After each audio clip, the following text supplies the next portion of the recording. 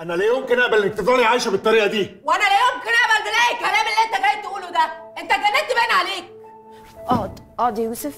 اقعد واهدى عشان نعرف نتكلم. يا جماعة الزعيق والخناق ده مش هيوصلنا لحل. مش سامعه الهرتلة اللي هو بيهرتلها؟ بهرتل؟ عشان لما أقول لك إنها قليله الأدب هو ما اتربيتش صدقيني. أنا. متربية أحسن منك 100 مرة يا يوسف. يوه بس بقى يا ساره اسكتي شوية. آه اخرس وأسكت ووافق على الهبل اللي عايز نعمله ده. أنا ما قلتش كده. لا قولي. قولي ما ناقص كمان انت تقولي. هو انت فارق لك حاجة أصلا؟ انت حبيبتي ولا فارق لك حاجة ولا همت حاجة ولا أنا فارقة معاك أنا شخصيا. صدقيني أنا غلطانة. والله العظيم أستاهل ضرب الجزم إن أنا جبته وجينا لك لحد عندك. مين قال لك إن أنا طايقاه ولا عايزه أشوف. ولا ابص في وشه. انت مش متخيلة هو عمل فيا إيه؟ ده خلي شكلي زي الزفت قدام يحيى. خليت شكلك زي الزفت. أنا مش عارف أحط عينيا في عينين الناس اللي بتشتغل عندي.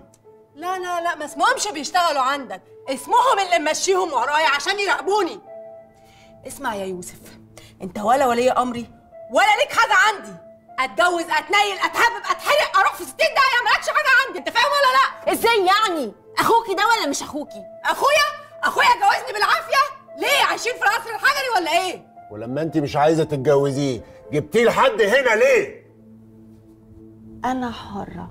مالكش دعوة يا يوسف فاهم ولا لا؟ يا نهار أسود عليكي وعلى ردودك. ما تبقيش بقى مستفزة خلاصي. ماشي. مش أنا ماليش دعوة؟ أوكي. من هنا ورايح هوريكي وش يخليكي تندمي على اليوم اللي اتولدتي فيه. يلا يا يارا استنى استنى. يلا يا يارا. اقعد يا يوسف. في إيه؟ هو إحنا جايين نزعق ونتخانق مع بعض ونمشي؟ إحنا جايين نحل الموضوع. صلى على النبي. صلى الله عليه وسلم. صلى على النبي انت كمان. عليه الصلاة والسلام.